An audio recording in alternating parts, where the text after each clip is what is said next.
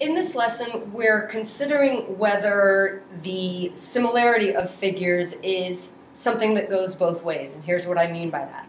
We know that if figures are similar, then that means that their corresponding sides are proportional and that their corresponding angles are congruent.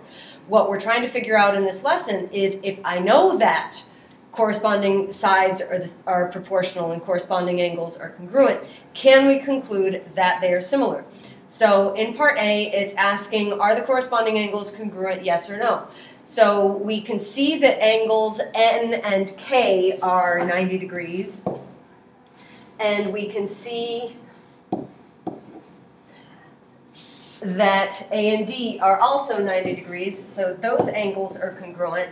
And in the interest of time, I'm not going to pull out a protractor to measure angles B, C, L, and M, but notice with relation to the slope of uh, DC and NM, and also BC and LM, that the slopes of those segments, DC and NM, are the same. They're both zero. And the slopes of ML and CB are also the same. They're both negative 2. And so if that's true, then angle B is going to be congruent to angle L. And then I can use the same thinking for AB and KL forming angles with LM and BC. So that means angle C and angle M are congruent. So are the corresponding angles congruent? Yes. Are the corresponding ratios of sides equal? And again, I'm not going to pull out a ruler and measure BC and LM, but the other horizontal and vertical segments are easy enough to measure. I can just count those spaces. Um, so the length of CD is 2. The length of NM is 4. Length of AD is 3. Length of KN is 6. And so far, I hope that you notice things are looking good. These ratios reduce to the same thing. Um, I said I'm not going to worry about BC and LM, but I am going to look at AB, whose length is 3.5, and KL, which is 7. Are the ratios of the corresponding side lengths equal? Yes. And so are the figures similar? Yes, because we can, a dilation of scale factor, whoops, I can't spell today.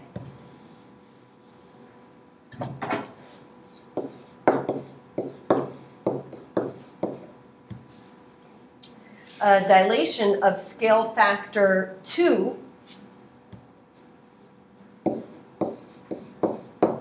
would map ABCD to KLMN.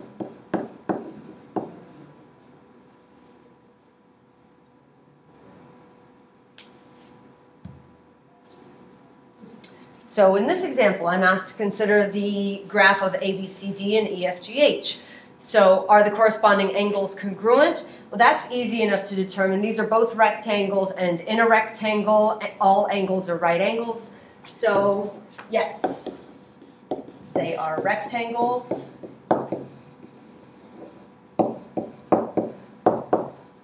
All 90 degree angles. Are the ratios of the corresponding side lengths equal? let's figure that out. AB is 4, EF is 7, BC is 3, FG is 5, and at this point, I have no need to find any other ratios. I can already see these ratios are not the same. So are the, are the figures similar? No. There is no similarity transformation or better put,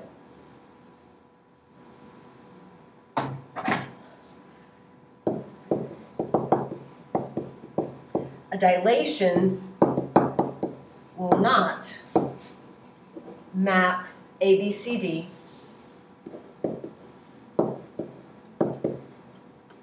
to EFGH.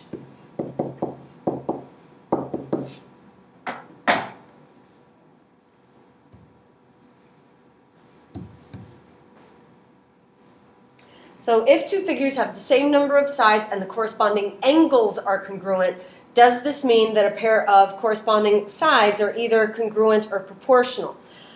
Well, if I have, let's say, a square,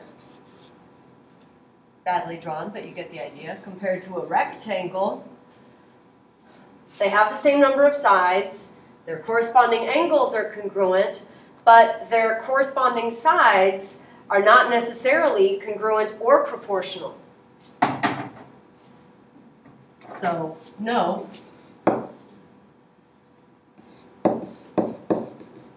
For example, consider a square versus a rectangle.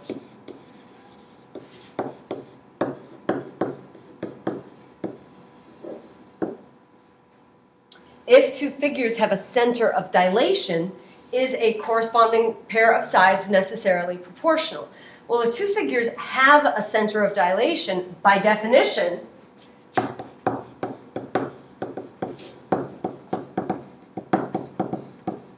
a dilation took place,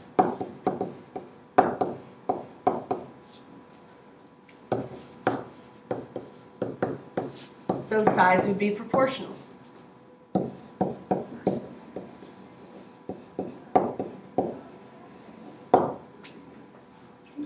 If two figures have a corresponding pair, a correspondence of proportional sides, do the figures necessarily have a center of dilation? Not necessarily. Um, for example, if I have a picture and I upload it and my uh, printer prints a enlarged version of it, there was no center of the dilation. They just used the measurements to create the dilation. So not necessarily.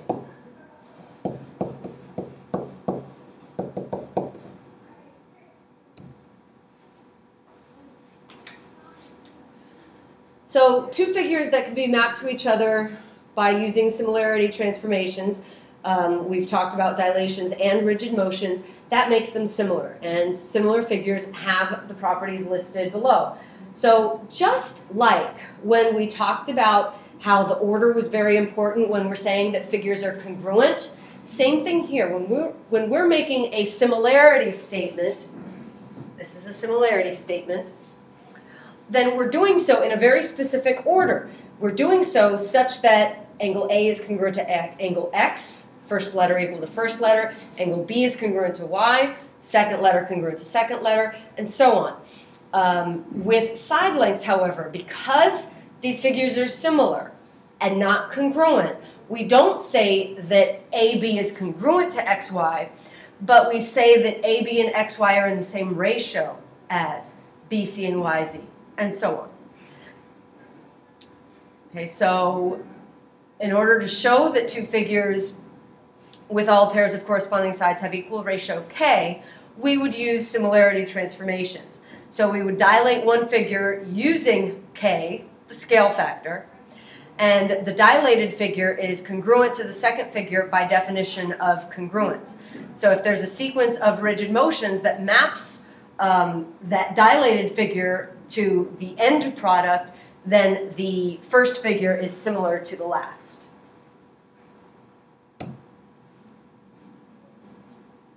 So in example one, we're identifying some properties of similar figures. So they've told us that EFGH maps to figure RSTU by a similarity transformation. So we know that they're similar. And they're saying write a proportion that contains EF and RU. So EF corresponds to RS, as we see here. And RU corresponds to EH as seen here. And then list any angles that must be congruent to angle G or U. So G is the third letter, must be congruent to T. H is the last letter, so it would have to be congruent to U. So we're doing kind of the same thing in part B with a few blanks to fill in. um, write a proportion containing Tx and Lm. So Tx corresponds to Jn, and Lm corresponds to VW. Angle what is congruent to angle V? That's third letter. That's going to be L. And then angle what is congruent to angle K? That's second letter, so that has to be angle U.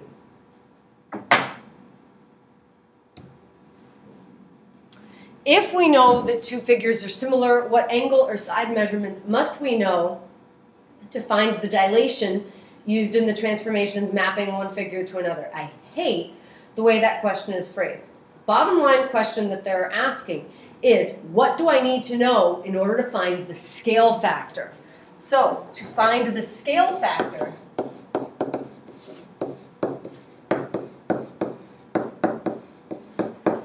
you the lengths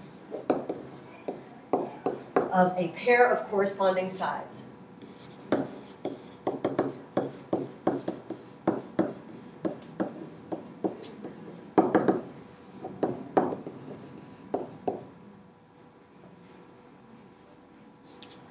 So in this your turn, we're told that triangles PQR and LMN are similar.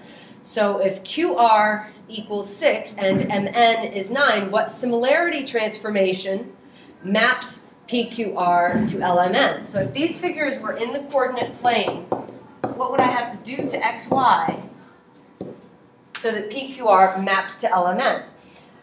Um, remember that scale factor is new over old. And in this figure, the LMN is the new, and so that corresponds to the 9 over 6, and that reduces to 3 halves. So my scale factor is 3 halves. So the coordinate notation for the transformation I would need is 3 halves x and 3 halves y. Now, kind of annoyingly in the book, it calls this problem an error analysis problem, gives us a statement and says, is the statement true? Well, probably not since they're calling it an error analysis problem. Let's take a closer look. They're saying that DE is to UV.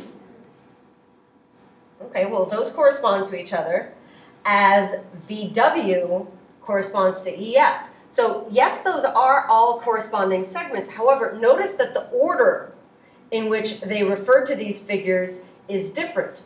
They did triangle DEF on top for the first one, and then they did DEF on the bottom for the second ratio. So the statement is not true. They uh,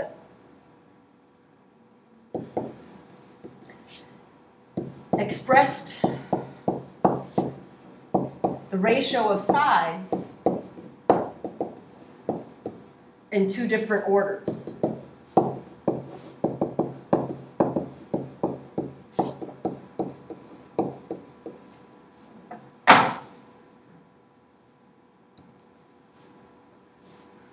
So now we're using similar figures in order to find some segment and angle uh, variable stuff. In part A, we're trying to find the value of x. Notice where x is. It is the measure, uh, or it's in an expression with the measure of angle C. So I know that angle C is congruent to angle R, so we set those two things equal to each other, and you notice that they solve for x, x is 17. And then to find the value of y, they set up a proportion, because y is a part of a segment length, and so they did AB is to PS, so 4y over 10, equals uh, AD to PQ. So that's the 3y minus 5 uh, over 5. And then they multiplied both sides by 10, which might not be the way you would solve that proportion. I know last year most of you probably would have cross multiplied.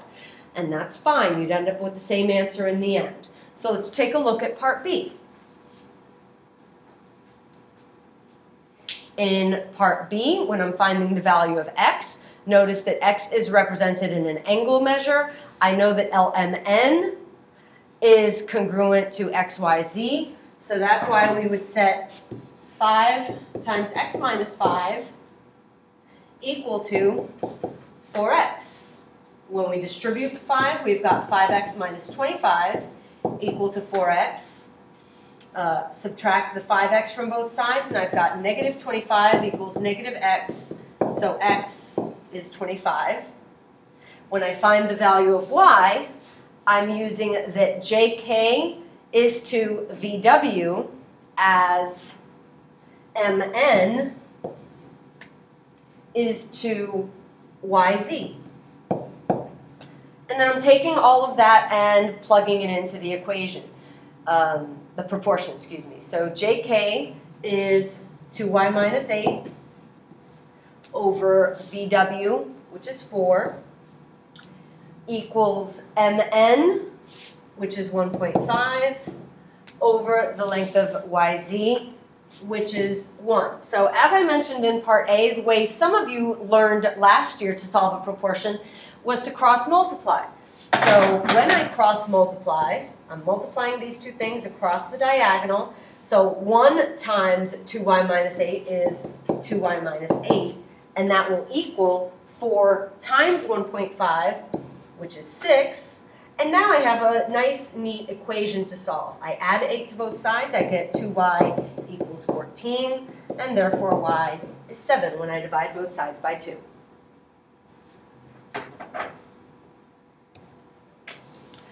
What are some things you need to be careful about when solving problems involving finding the values of variables in similar figures?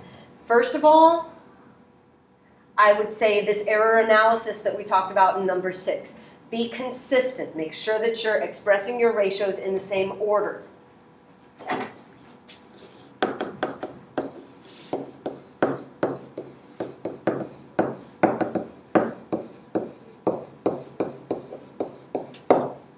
Also, remember segments are proportional.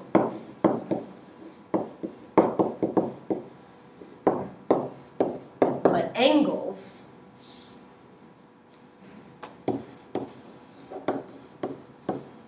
are congruent.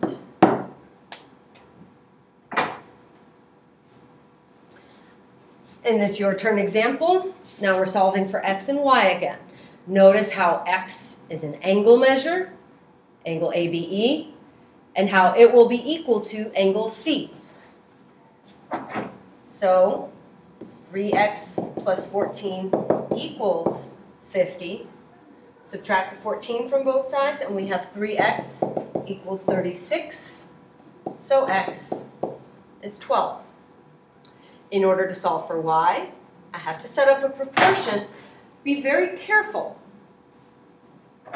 Make sure that you realize y all by itself is not a part of a triangle. Okay, so AE corresponds to AD as BE corresponds to DC. Probably the most common mistake I see students make is do 5.6 over y equals 4 over 5, and this is wrong. AE is 5.6. AD is 5.6 plus y. That equals 4 over 5. And that's the proportion that you would want to cross multiply and solve. So in your calculator, you have 5 times 5.6, which is 28, equal to 4 times 5.6 plus y. So 5.6 times 4 is 22.4, and then plus 4y equals 28. Subtract the 22.4 from both sides, and I have 5.6 equals 4y. And when I divide both sides by 4, y is 1.4. Okay, so be very careful about not making the mistake here.